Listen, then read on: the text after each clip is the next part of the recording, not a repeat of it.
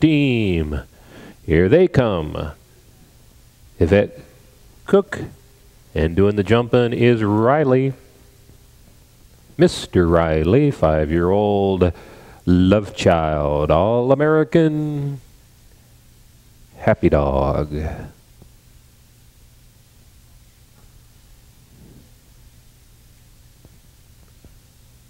Another team that came north to be here today out of Phoenix, Arizona.